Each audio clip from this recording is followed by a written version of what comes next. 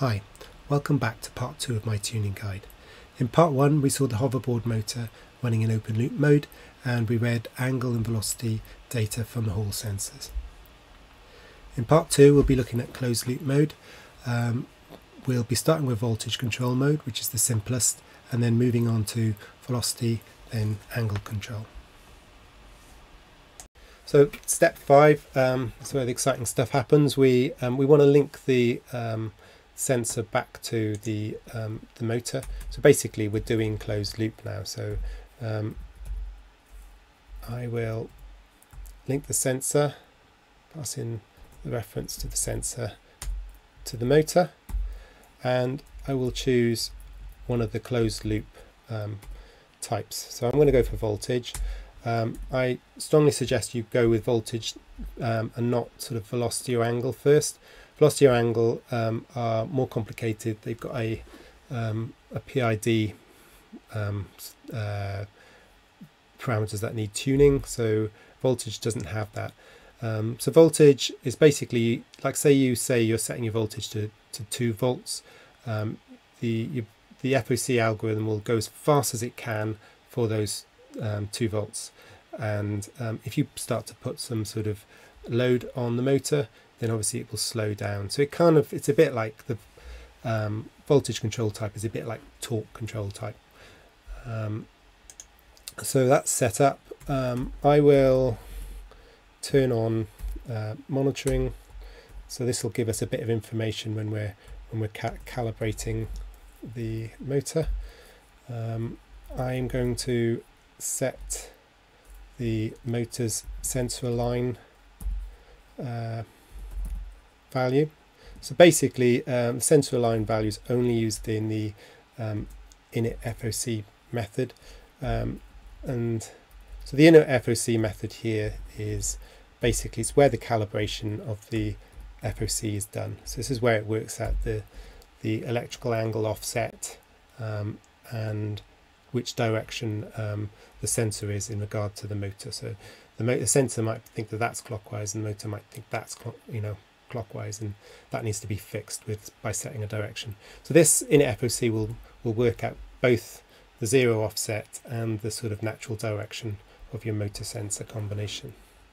So that's that sorted. Um, we need to, um, in the loop, we need to do the, the maths, the um, FOC maths, which gets done in here. That kind of works out what the angle should be. Um, and I will get rid of this and you saw earlier that I said I wanted to use um, monitoring so I'll ask it to monitor and this will print out a few key variables that are appropriate for the the, the, um, the control type you're using. So um, yep I will turn my power on, I'll upload that, turn my power on, see what happens. I can get this in shot now what we're expecting now is um, for this to sort of calibrate and click left five steps and then right five steps. Should have worked out the angle um, and now it's spinning. So basically it's going as fast as it can for one volt. If I change that to um, 1.5 volts, goes a bit faster, 2 volts and minus 2 volts and if I go to zero um, it's using 40 milliamps. So um, you know you don't get this sort of slow speed high current issues. Um, just kind of as a final step uh, before I finish this I'm going to print out um, I talked a bit about the zero offset angle um, and the natural direction so uh, I want to print those out. Uh, so it's motor dot. The reason I want to do this is because we don't want to calibrate every time. Um, we just need to. Well, it depends on the, your your sensor type. But if you've got a sense, sensor like a Hall sensor or a magnetic sensor, then you can skip the calibration step because um, you know the, there's an absolute angle that you can get here. Um, so I'll do sensor, I think it's actual, I think those are the two I need to print out. So, and I will just stop it from doing any anything else. Um, while true, disable the motor as well maybe. Disable. So what I'm after is two values and I'll be using those in a second. So it's going to go through the calibration step as normal, but then it's going to disable itself and print out the values.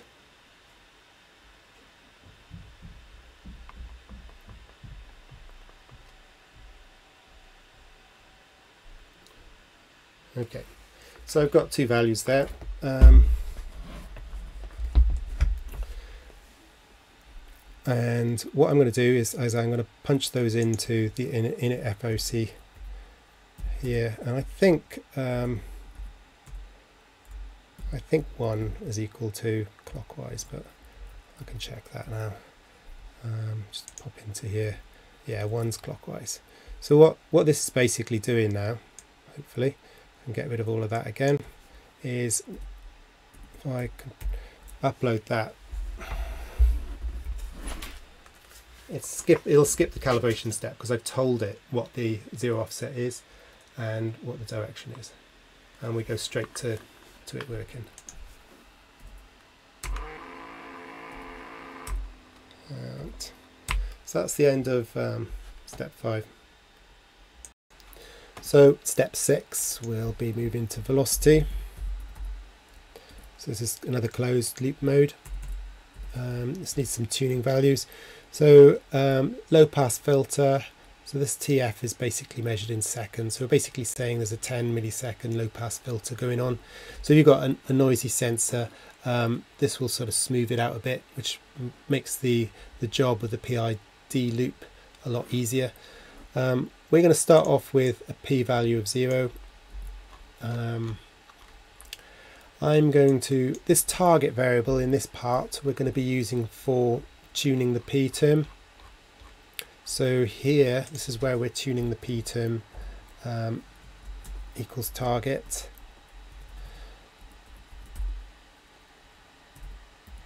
And um, we'll give it a constant speed of about 5 radians per second. I'll just turn my power supply on and get this in shot. So the, um, three columns here, the left one's voltage, this one is what velocity we've asked for, so 5 radians per second, and this is the actual velocity. So obviously because our p term is zero, um, we are not getting any voltage out and therefore the speed is zero. So I'm going to change the p term to 0.1, um, 0.2, Oops, I've got it upside down. It is moving. I wonder what's happening there. It's this one that's plugged in. Um, so what we're looking for is the actual speed to get to about 60 to maybe 75% of the desired speed. Um, so at 0.2 we're at just under 2 radians per second. So I'm going to increase 0.3, 0.4, 0.5, 0.6. Okay, so yeah, 0.6, we are at 3 radians per second. So that's about as good as P will give you. If I go too high, like if I go to 2, it's starting to shake and judder. You can probably hear it, you might can't, probably can't see it. So I'm going that back to 0.6. So I will bank that value. I will think that one's good. Um, so I'm now moving on to the integral term. I want to tune that one next. Right, so change that, upload. So the integral term is um, basically a sum of the errors. So for um, it basically adds up over time. So the longer that you are in error, the more the integral term will, will kick in, if you see what I mean. So if we're looking at the state at the moment, we are five, uh, we want five, we're getting three, so our error is like two and that's happening all the time so this is going to be continuously added up and then multiplied by the i term um, but the I term is zero at the moment, so it's not doing anything. So I'll, I'll try an I term of um, 0.5. So that's gone up to four and a half now. So it's almost well, it's slow. It's slowly gone up to five basically, um, but I probably want it to increase a bit quicker than that. So um, I can go up to one. I probably two, three. I'm gonna I'm gonna stick with five here. Um, so the integral term um, and and the p term is is it kind of the tuning of them depends on a little bit on how much load you've got on them and the desired speed and how quickly you want it to reach that desired speed so it's probably worth tuning it at the sort of speed and the load that you you want um, so I'm happy with that. Um, I think we said it was five so I'm going to get rid of that. I'm going to bank my five. And I'm going to change this back to target.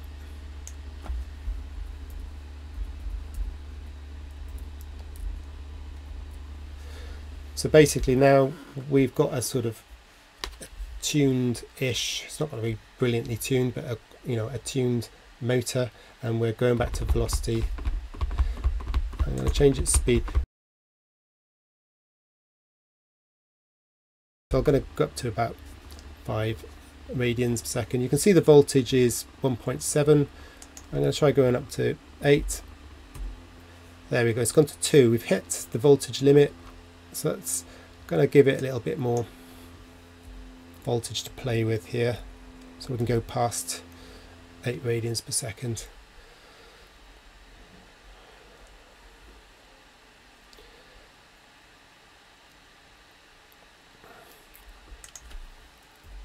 five. Um, let's try 15. And minus five. And minus 15. And back to five. Step seven, the last step, we'll be looking at angle control type.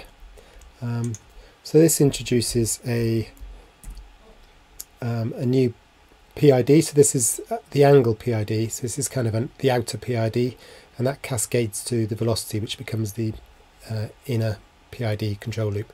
So the think of this as being the angle of the error. Um, say we wanted to be at position five, but we're at three. Um, the the angle error would be two, um, two uh, radians. That gets multiplied by this uh, kp term, and that then gets fed out, fed to this as a velocity into the uh, velocity PID loop, uh, which then sort of its output is the voltage that goes to um, the motor. So uh, we set initial value of 0.5 um, and we I'm going to that target variable that I can easily change I'm going to use it as the angle. So when I say 6 it's going to move to 6 radians uh, minus 6 uh, you know it'll go the other direction. So um, 0.5 is um, kind of a low initial uh, kind of strength to to the angle. So what we're seeing here um, there's three the first one's voltage the second one is desired angle and the third one is actual angle. So I'll say I want to move to angle 5 and you can see slowly um, not very purposefully it's moving towards 5 and if I change this to 1 so um, that error when it gets multiplied by 1 is going to kind of result in a faster velocity going to this this loop. Um, so we'll see when I ask for um, 5 this time it'll be a, little bit more purposeful um, one thing about this is that the the actual the amount of torque that this has doesn't isn't really affected too much by this term. It's it's well it it will be a bit, but um, it's mostly going to be lim uh, probably going to be limited by the the voltage limit. So um, at the moment I've got a voltage limit of two, and for this motor that's reasonably high. Um, so it's putting up a reasonable fight. Um, I was going up to one amp there uh, when I'm when I sort of pull against it. if I was to drop this down to one, uh, what you what you'll see um, in the the three lots of uh, data uh, on the serial print is that we'll we'll hit the the voltage limit. Remember the first column is voltage here. We'll hit that'll hit the one voltage limit pretty soon. And now this is still fairly easy for me to turn, uh, and it's because we've hit that voltage limit. So that's if you wanted um, a kind of like a compliant type angle um, control loop, that might be the way you do it. Um, so, it, I mean, looking forward, uh, we are thinking about with the um, this providing a bit more flexibility with this um, angle feedback loop. At the moment, they cascade, um, but it would it's probably going to be fairly easy um, to change this so that the the, the angle uh, PID loop is directly connected to the voltage, uh, as in we, we don't use this at all. Um, and that will give uh, different behavior and um, you probably might want to set some of the I and D terms then. Um, but that's going to be for another tutorial. Um, similarly, uh, we're going to be introducing control type torque at some point, but that requires uh, us to make a few more improvements in the way of um, current sensing. So that's the end of uh, this guide to tuning. Um, if you enjoyed it, then um, I've put a few links below to some of the other stuff that I've been working on recently. Um, and thank you for using Simple FOC. So there's a whole bunch of other things we could have been talking about with regard to tuning. So if you've got any questions, post it on the community forum on the Simple FOC website. Um, really look forward to hearing what you guys do with Simple FOC. Um, there's already some crazy cool projects going on, so um, come over and check it out.